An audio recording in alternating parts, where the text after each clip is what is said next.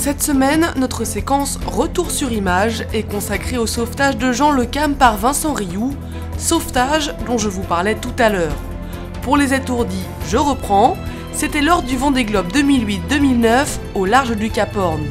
Au 57e jour de course, Rioux se déroute pour porter secours à son ami Jean Le Cam, qui a chaviré quelques heures plus tôt.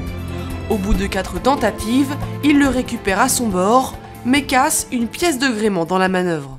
La dernière fois, je me suis approché en plus près. Hein. La coque, les coques se sont pas touchées, elles se sont frôlées, mais par la quille orientée de euh, Game sous le vent euh, est venu percuter, a cassé la outrigger. Mais à ce moment-là, c'est vraiment le, cadet de mes soucis. Hein.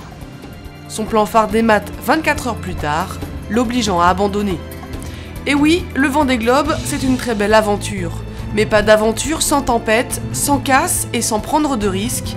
Assurément, vous allez apprécier de suivre la course dans votre mag Regatta, au chaud, depuis votre canapé. Très bonne semaine à vous, à la semaine prochaine